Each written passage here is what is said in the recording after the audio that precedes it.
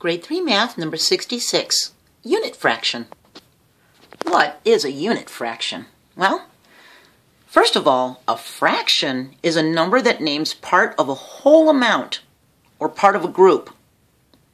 It's a fraction of something. It's just a little part of the big thing.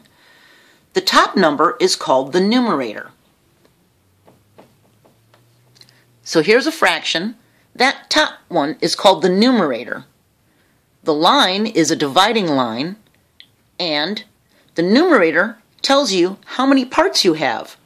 So if I have one third, if there's a pizza and it's split into three parts, and I have this one for me, then I have one third of the pizza. I have one of the three parts. So the numerator tells you how many parts you have. The denominator, denominator tells you how many parts there are in all. Okay? That this bottom one says this is how many parts there are in all. The top one tells you how many you have. Okay? Numerator and denominator. Well, a unit fraction names one equal part of the whole thing. So it has 1 as the top number, the numerator.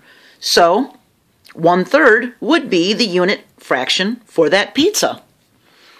Let's look at this candy bar. I took a chocolate candy bar and I cut it three times, which made one, two, three, four equal pieces. Did you know that? To get four pieces, you cut it three times?